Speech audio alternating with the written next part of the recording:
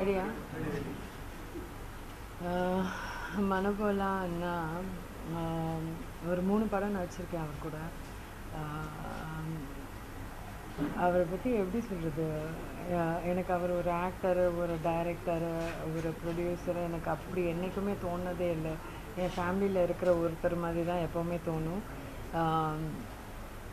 Beautiful human being any time எந்த டைமில் அவருக்கு ஃபோன் பண்ணாலும் சரி நானும் ஒரு ஆர்டிஸ்ட் எனக்கு தெரியும். நான் நிறைய பேர் நம்ம இன்க்ளூடிங் நானும் நம்ம சில பேர் ஃபோன் எடுக்க மாட்டோம். ஆனால் இவர் எப்போ ஃபோன் அடித்தாலும் எடுக்கிறது நம்மளுக்கு பதில் கொடுக்குறது நம்மளுக்கு ஹெல்ப் பண்ணுறது இந்த மாதிரி ஒரு மனுஷன் நான் மீட் பண்ணதுலேயும் அவர் கூட நடித்ததுலேயும் அவர் எனக்கு நல்லா தெரியும்னு சொல்கிறதுலையும் எனக்கு ஒரு பெருமை இருக்குது நான் இப்போ அவங்க ஃபேமிலிகிட்ட கேட்டேன்.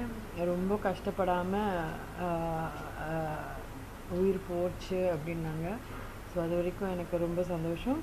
So I'm sorry for his loss and அவங்க ஃபேமிலிக்கு I just pray for everyone of them thank you